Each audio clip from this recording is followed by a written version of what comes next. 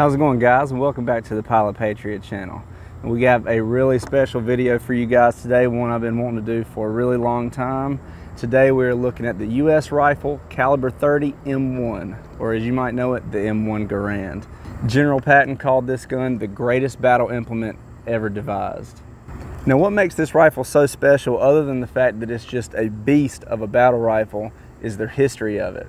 So before we get into the features of the gun, we're going to talk a little bit about its history. But first, if you haven't done it yet, make sure you hit that subscribe button down below and hit that notification bell so you get notified every time we upload new videos. And make sure you give us a thumbs up, we really appreciate that. All right, now let's get right into it. The M1 Garand was designed by John Garand. He was a Canadian-born gun designer that worked with Springfield Armory. Now, even though his name is John Garand, this rifle has been commonly known as the M1 Garand. Now, after World War I, the US military realized that the future of warfare was going to be sheer volume of fire that you could put down range. So they decided they needed to move to a semi-automatic rifle to replace the 1903 Springfield. And John Garand definitely delivered on this one. His design would go on to be one of the most iconic rifles in all of American history. The Garand was the first standard issue semi-automatic rifle ever issued to any military which is pretty significant considering that all of our enemies in World War II were still shooting five round bolt action rifles. That meant that we could put down a lot more firepower a lot faster. A lot of people even credit the Garand with winning World War II. I don't really know about that, but I definitely know it was a major factor and gave the American troops an advantage over their enemies. The M1 Garand was in production from 1936 to 1957 and served in two major wars, World War II and the Korean War. Some of these rifles were even used in the Vietnam War and several other conflicts around the world. Now this thing is really just a beast of a rifle. It's made of 100% American made steel and walnut. It's 43 and a half inch long with a 24 inch barrel and it weighs in right around 10 pounds. It fires a 30-06 cartridge from an 8-round en-bloc clip, and yes, I did say clip. This was important for the military because they'd already been using the 30-06 in the 1903 Springfield and they had a lot of surplus left over that they wanted to be used in their World War II rifles. And also you just can't deny the knockdown power of the 30-06 cartridge. The primary manufacturer of the M1 Garand was Springfield Armory. This one I have here is a Springfield Armory M1 Garand manufactured in 1945. Now the only other manufacturer that made the M1 Garand during World War II was Winchester. After World War II and going into the Korean War, they were also produced by International Harvester and Harrington and Richardson. Now there were a couple versions of this rifle, the standard infantry rifle, and then there was also a sniper version designated the M1D and the M1C. Now there were several minor changes to the standard M1 Garand over the years, but they can generally be broken down into three groups. The pre-World War II M1 Garands or the gas trap rifles, the World War II rifles, and then the post-World War II or Korean era rifles. Now the pre-World War rifles used a gas trap system that really proved to have a lot of inherent weaknesses. So in 1940 they switched to the gas port system, which is what's on this rifle. Because of that, the gas trap rifles are very rare and can be extremely valuable to collectors. Now, the World War II rifles, like the one I have here, are some of the most sought after Garand. These rifles, manufactured from 1941 to 1945, are the rifles that fought in the jungles of the Pacific, the rifles that stormed the beaches of Normandy, and eventually invaded Germany. The men that carried this rifle in World War II were some of the bravest, toughest men that ever lived, and their rifle was the tool that delivered them to victory. Now, because of the amazing history of these rifles, the World War II Garands hold a special place in the heart of gun enthusiasts and represent a very important time in American history. Now, the post-World War rifles include any rifles produced after World War II, including the Korean War era rifles. Those rifles were produced from 1950 to 1957, and along with two new manufacturers producing the rifles, there were several small modifications made to the rifles between World War II and Korea. Some of the most notable are the improved adjustment knob on the rear sight. They got rid of the lock bar system that was on the World War II rifles. Another was a modification to strengthen the operating rod. And finally, they went to a cheaper to produce stamped trigger guard without the loop on the back. Now a quick note about the trigger guard. Um, they did start producing this stamped trigger guard uh, towards the end of World War II. So there are some late World War II rifles like this one that correctly have that stamped trigger guard, but every rifle produced after World War II would have that stamped trigger guard. Now, the post-war rifles tend to be not quite as desirable on the collector's market, but those rifles can be some of the best shooting M1s because their components aren't as old and they had gone through all of those small modifications.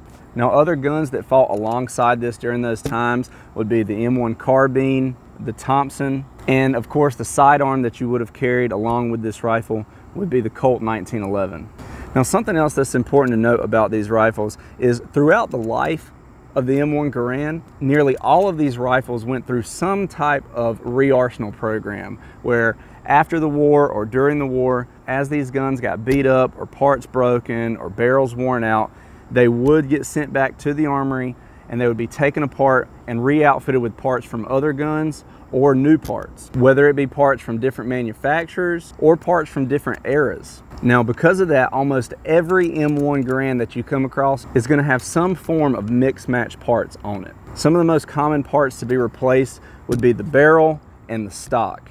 Oftentimes you may see a World War receiver with a Korean War barrel because of that. Now, a lot of people see that as a negative, but really each of these rifles tells a story. Every scratch, dent, and replaced part is part of that individual rifle's history. And I think that's pretty cool. For example, this rifle was manufactured in 1945. Almost all the components are original and correct for 1945. The receiver, the barrel, and all the other smaller components are Springfield 1945 and seem to be original but at some point during the life of this rifle, its stock was replaced. After doing a little research, I believe this to be a post-war Harrington and Richardson stock. It shows some definite battlefield use, but it's still in great condition. Now, the all original, all correct rifles are the most desirable, but those are very rare. And no matter what configuration your rifle happens to be in, you can rest assured that you're holding a real piece of American history. Now, if you guys are interested in learning more about the individual parts and how to identify them, what all the cartouches and stamp marks mean, I will be doing a video on that, so make sure you stay tuned for that.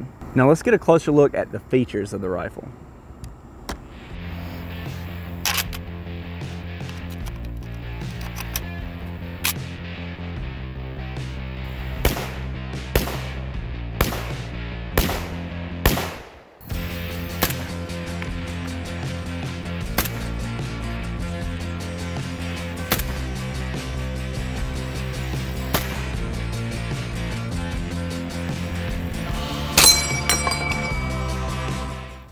The M1 Garand had a very durable parkerized finish on all of its metal components. And as you can see here, it has kind of a gray-green look to it. Like I mentioned before, it shoots an eight round en bloc clip and this clip was really innovative for its time. At the time, most rifles were still using stripper clips to push the rounds into the gun. This was pretty innovative that you could hold them all together and push that clip down into the internal magazine of the gun and once it was fired, the empty clip would shoot out the top. Now to load this, all you do is set your clip in there and what you're going to do is put the butt of your hand up against the back of this charging handle, hold that down and then push the clip in until it clicks and then release your hand. If the operating rod doesn't go forward on its own, you just give it a little tap and now she's ready to rock and roll. Now most of you may have heard of the horror stories of Garand thumb. So if you do that incorrectly, there is a chance that when that bolt comes forward, it could catch your thumb if you're not holding back on that charging handle. So make sure when you're loading your clip in that you're putting some rearward pressure on that charging handle. Now, if you wanted to remove your clip manually, uh, what you can do is just pull back on the charging handle, hold it back with your hand, and then you can hit this ejector button on the side here, and that's gonna eject that clip, just like that. Another thing that's really iconic about the M1 Garand is the sound that it makes once that clip comes out. So I'll try to demonstrate that here. And that's that famous M1 Garand ping that you hear when that clip comes out. Now while we're up here, let's take a look at this rear sight. The rear sight is fully adjustable for elevation and windage. And you can hear those nice audible clicks every time you turn that knob. Like I mentioned before, the rear sight knobs did go through several different variations over the years. Each click on these adjustment knobs equates to one inch at 100 yards. The rifle does have a reciprocating charging handle and operating rod every time you fire. Most M1 Garands are going to be outfitted with a black walnut stock that's just a beautiful wood. Later in its production and some that were produced by other countries may have used a birch stock. The M1 Garand did have a very nice trigger pull as you can see here. There's just a little bit of take up there and then you hit that wall and then a very smooth break. And I will weigh that trigger pull with my Lyman scale so you can see exactly how heavy that trigger pull is, but I can tell you just by feeling it that it is a very nice trigger pull. It does have a bladed front sight with these two fins on the side to protect it. It is also adjustable. You can loosen this screw here and fade it left or right. Um, there's not much need to do that since the rear sight is already fully adjustable. Uh, you may not have to adjust that front sight. It does have a gas port system here. If you have one of those earlier rifles, this is where you would see that gas trap system. The rifle is outfitted with two sling swivels. You can see them here and here on the buttstock. This swivel up here is actually a stacking swivel so you could stack multiple rifles together. So that's not a sling swivel there. On the back here, it does have a steel butt plate with a storage compartment here. And inside that storage compartment is where they would store their cleaning kit for the rifle.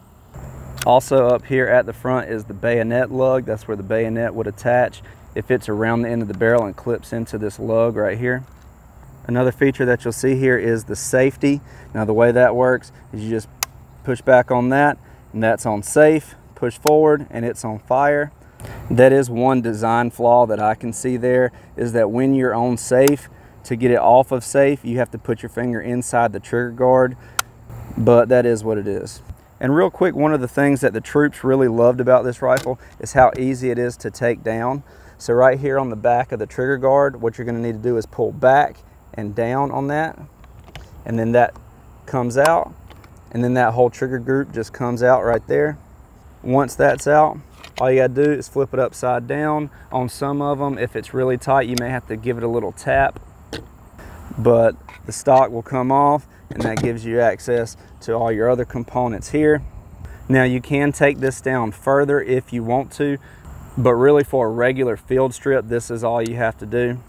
And I'll just put it back together here so you can see how that works. You're just gonna fit that stock back into place there. It falls right in. And then you drop that trigger group back in and pull the trigger guard down until it locks. And you can hear that lock there. And your rifle is assembled and ready to fire. Now these rifles are becoming more and more rare as time goes on. You can still find them on the market. Uh, one of the most popular places to find them is the Civilian Marksmanship Program. You can order it through them uh, and they do tend to have very good prices. The only problem with the CMP is that it's really luck of the draw on what you get and most of their rifles are going to be a lot of mix match parts put together by the CMP, not by the original Arsenal. And a lot of their rifles tend to have either brand new or sanded and refinished stocks. And that's really just not what I wanted. I wanted a rifle that was just as it was turned in from the war with all of its dents and dings and character. Something that really showed the history of the gun, not a refinished M1 that was made to look brand new. So if you're really interested in finding something like that, I definitely recommend checking your local gun shops. You can definitely find these at gun shows all around the country and some places online like gun brokers, so make sure you check those out. But of course, everyone has their own priorities, so it really just depends on what you're looking for. Now, in closing, guys, the M1 Garand was known to be a very reliable rifle. It served well in every theater of war, from the frozen forests of Belgium to the deserts of northern Africa, and even in the jungles of Japan and Korea. It is robust and durable and the hard-hitting 30-06 cartridge makes it extremely powerful. It was the most innovative and effective infantry rifle the world had ever seen, and really just a beautiful piece of American history. Like General Patton said, I truly believe this was the greatest battle implement ever devised, at least until it was replaced in 1959 by the M14. Now we've gone over a lot of information here guys, but if you're interested in learning more about the M1 Garand and its history, I'm gonna put a link to some great reference books in the description below. So make sure you check those out. Those are great books for collectors or really anyone that's interested in learning more about the M1 Garand or their specific M1 Garand. Now, if you haven't done it yet, guys, make sure you hit that subscribe button down below. Give us a thumbs up. And if you want to support the channel, you can do that by joining us over at Patreon, visiting our Facebook. We really appreciate that. You can also visit pilotpatriotapparel.com to get yourself some really cool patriotic and Second Amendment t-shirts. I really hope you've enjoyed this video, guys, and our look at one of the most iconic rifles in American history, the M1 Garand. Thanks for watching, guys. Please like, share, and subscribe and we'll see you next time.